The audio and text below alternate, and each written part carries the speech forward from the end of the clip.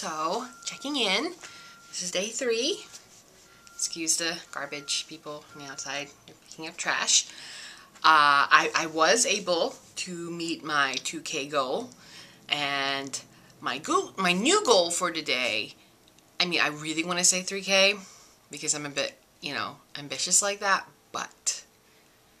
I'm busy today. Um, 2,500 minimum, but shooting for 3K.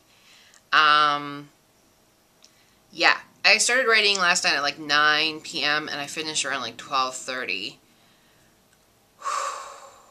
And I know that um, I have friends who, who write 10,000 words a day, and I'm sure it's so much faster for them. And I have to stop comparing myself to others. It's a it's a bad habit of mine, and I, have been I've been doing really well actually, but um, I'm just like, dude, you're still in training wheels area. Like they've been doing it nonstop for years now. You've you've got to give yourself a break.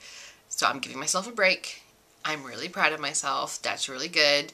I've got total of at least 3k more than I had the beginning of the week, so that's something.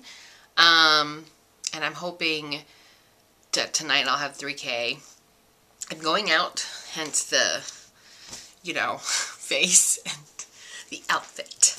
Um, so I'm probably going to do freehand because I'm going out and I don't, I can't bring a laptop where I'm going. So I can like just jot down ideas and stuff and elaborate on them or expound on them later on tonight. Um, but yeah, this is day three.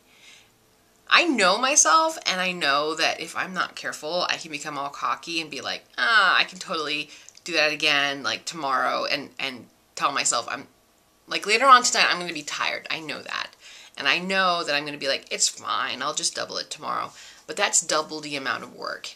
And I struggled last night. So I really have to write today, like tonight. Like it's got to be a thing. Like it's it's in the schedule. It's completely unavoidable. Like you know, having to go to the bathroom or something.